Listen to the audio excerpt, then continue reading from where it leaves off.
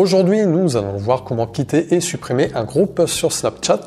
Pour l'exemple, il se peut que vous en ayez créé un et que déçu par certains membres, vous souhaitiez simplement les retirer de celui-ci. Malheureusement, en ayant bien recherché les différentes fonctionnalités proposées à travers l'application, on peut constater que la plateforme ne nous permet pas, contrairement aux autres messageries, de supprimer un groupe. Snapchat nous donne tout de même d'autres possibilités. Pour la première, en allant sur l'avatar représentant ce groupe, on va se diriger vers le menu des trois points en haut à droite.